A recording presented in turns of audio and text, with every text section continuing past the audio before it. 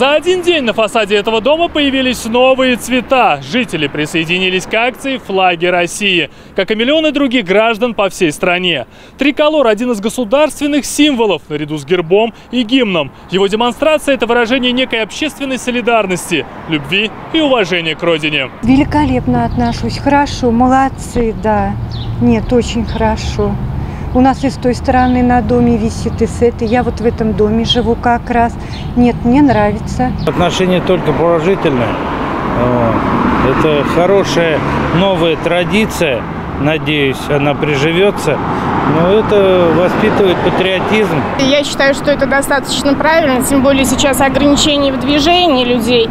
И это как-то сплочает. И мне кажется, каждый человек показывает ну, свое отношение к этому празднику. Я считаю, что правильно. Это люди показывают, что они к России относятся с уважением. В этот день уезжаю за Волгу. А там мы обязательно празднуем этот праздник. Обязательно.